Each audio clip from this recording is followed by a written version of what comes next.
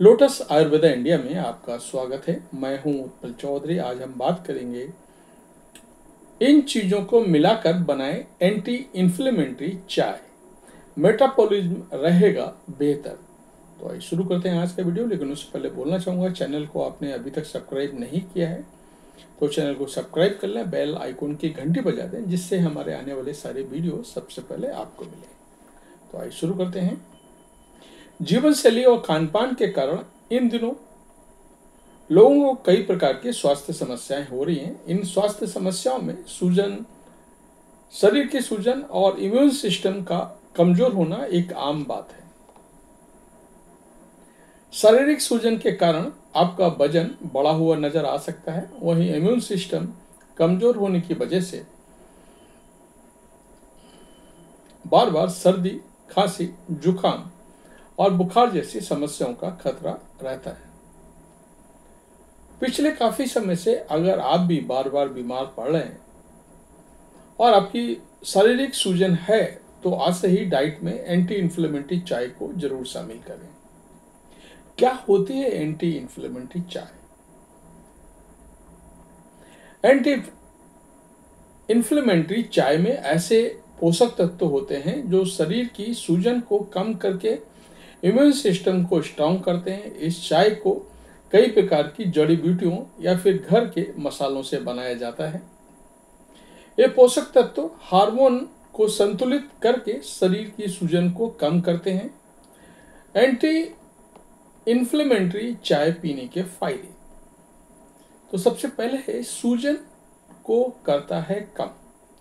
Anti inflammatory चाय शरीर में सूजन को कम करने में मदद करती है। इससे जोड़ों और मांसपेशियों में दर्द से राहत मिलती है। इस चाय को बनाने के लिए अदरक जैसी चीज़ों का इस्तेमाल किया जाता है। इनमें प्राकृतिक तौर पर एंटी इन्फ्लेमेटरी गुण होते हैं, जो सूजन को कंट्रोल करते हैं। इम्यून सिस्टम को बनाए मज़बूत। एंटी इन्फ्लेमेटरी चाय को बनाने के लिए इस्तेमाल किए जाने वाले मसालों में एंटीऑक्सीडेंट और फाइटो न्यूट्रिशंस होते हैं। ये पोषक तत्व इम्यून सिस्टम को मज़बूत बनाकर शरीर को बीमारियों से लड़ने की क्षमता प्रदान करते हैं। गैस्ट्रिक समस्या से दिलाता है राहत।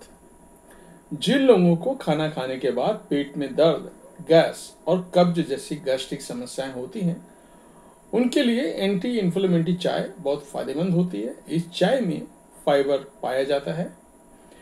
जो गैस्ट्रिक की समस्या से राहत दिलाता है। वेट लॉस में मददगार। एंटी इन्फ्लेमेटरी चाय में मेटाबॉलिज्म को बढ़ाने वाले तत्व होते हैं। ये मेटाबॉलिज्म सिस्टम को तेज करके फैट बर्निंग और फैट कटिंग का काम तेज़ी से करते हैं।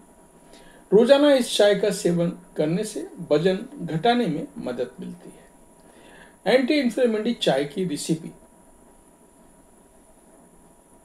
अपने वीडियो में जो मैं आपको बता रहा हूँ, उसी हिसाब से आप चाय बना सकते हैं। तो चाय की सामग्री है अदरक, आधा इंच कद्दूकस किया हुआ, हल्दी, आधा इंच कद्दूकस किया हुआ, यानी कच्ची हल्दी की बात कर रहा हूँ मैं, काली मिर्च तीन से चार पीस, दालचीनी आधा इंच, सेंधा नमक क्वार्टर चम्मच, पानी एक गिलास। अभी चाय बनाने का तरीका आपको बता रहा हूँ। एक पैन को गैस पे चढ़ाएँ और उसमें एक से डेढ़ गिलास पानी डालकर गर्म करें। पानी को गर्म करने के बाद उसमें दालचीनी, अदरक, हल्दी और काली मिर्च डालें। पानी में सभी चीज़ों को तब तक उबालें जब तक कि उसका रंग ना बदल जाए और आधा ना हो जाए। अब इसमें नींबू का रस और सेंधा नमक डालें। सेंधा नमक टेस्ट के हिसाब से। आप रोज़ाना इस चाय का सेवन अपने रेगुलर चाय की तरह कर सकते हैं। एंटी इन्फ्लेमेटरी चाय सेहत के लिए बहुत फ़ायदेमंद होती है। उसे अपनी रोज़मर्रा की डाइट का हिस्सा बनाकर आप इसे फ़ायदा उठा सकते हैं। तो ये था हमारा आज का वीडियो आपको कैसा लगा आप अवश्य बताएँ। धन्यवाद।